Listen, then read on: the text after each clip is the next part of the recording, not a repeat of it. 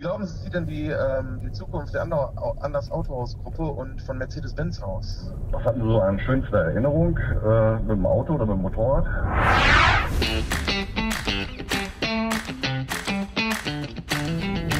Wieder eine Folge Car Talk und neben mir sitzt der Hauke Anders. Hallo. Hallo Hauke. Wir machen heute eine spezielle Car Talk äh, und zwar Ja. dürfen Mitarbeiter von der Anders-Gruppe dich heute anrufen, hier in unserem Car Talk und dir irgendwelche Fragen stellen. Ja. Oh, schon ist einer da. Ja. Soll ich annehmen? Das geht ja ganz leicht einfach. Schau mal, ja. Hallo, Hauke Anders hier. Hallo, Moritz Windhaus. Moin. Ich mache momentan eine Ausbildung zum großen Auslandskaufmann bei dem Autohaus Anders. Ja. Sauber. Hallo.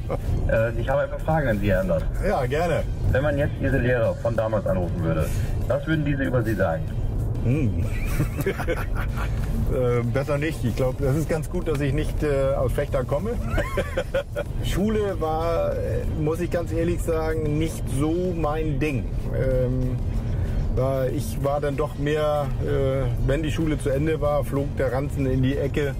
Und äh, ich bin auf den Bauhof gegangen und bin mit, unserem, mit unseren LKWs, mein Vater hatte damals drei LKWs im Bauunternehmen, äh, bin mit denen rumgefahren und habe äh, alles Mögliche verteilt auf die Baustellen. Das war mir wichtiger, als für die Schule zu lernen.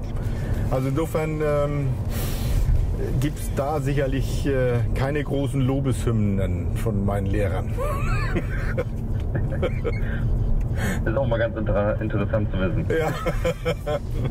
Ähm, ich bin auch viel beim VfL Leute aktiv und Sie Ja. ebenfalls auch in vielen Vereinen, zum Beispiel Ja. Raster Fechter. Woher kommt Ihre Begeisterung für den Sport? Ähm, ja, für den Sport einmal, weil ich selbst sehr gerne Sport gemacht habe. Früher, heute leider nicht mehr so viel. Ähm, aber für mich ist viel wichtiger das Ehrenamt, das man damit ausübt. Ne? Dass man sich wirklich engagiert. Äh, und äh, insofern bin ich damals durch meine Kinder oder durch unsere Kinder hier zum VfL heute gekommen, die hier Fußball gespielt haben, habe dort eben auch äh, als Betreuer und Trainer gearbeitet in, in der Jugend äh, der Kinder. Äh, bin dann irgendwann reingerutscht in den Vorstand. Äh, das mache ich auch sehr gerne. Ähm, habe auch die Kinder immer animiert. Sie müssen in den Sportverein rein. Sie müssen äh, in Mannschaftssport machen, wo man wirklich das Teambuilding lernt äh, und das erlebt. Das war mir immer ganz wichtig. Ja, und dann auch so Rasta äh, Schützenverein. Ähm, das ist für mich auch ein wirklich ein sehr, sehr wichtiges Thema. Kompanie? Äh, die Kompanie Die Hindenburg. grüßen natürlich an dieser Stelle. Genau, ich grüße die. Kompanie Hindenburg mit unserem Kompanieführer Herbert. Ähm, also das ist wirklich ähm, eine, eine tolle Geschichte, wichtige Geschichte und für mich immer so, ein, so eine Verpflichtung auch ähm, etwas zurückzugeben. Okay.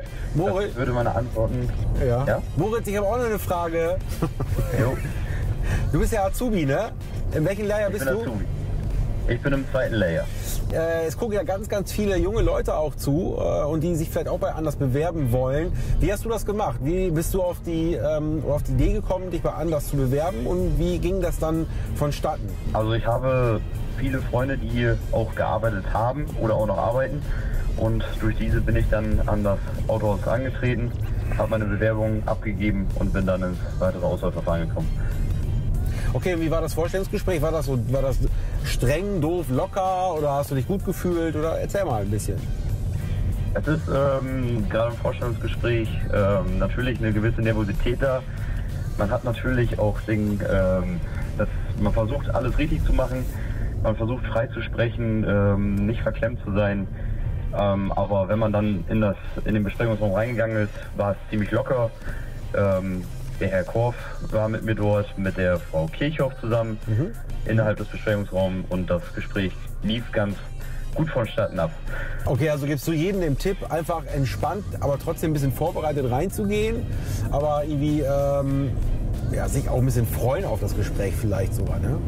Ja klar, natürlich. Also vorbereitet auf jeden Fall. Man sollte natürlich den Background auch in der Firma wissen, Ja. von der Firma wissen und ähm, sich genug darauf vorbereiten. Ähm, aber auch nicht zu verklemmt und auch locker in das Gespräch reinzugehen. Dann kann man am meisten überzeugen. Prima. Ja, das war doch ein super Tipp. Danke dir. Super, danke. Alles klar. Vielen Dank. Kein Problem. Bis dann. Tschüss. Jo, tschüss. Tschüss. Alles klar, dann würde ich sagen, ähm, Das war's, wir fahren jetzt wieder nach Ja. Hause. Bis bald. Daumen hoch, wenn es euch gefallen hat. Ansonsten, ciao, ciao. Tschüss. Tap,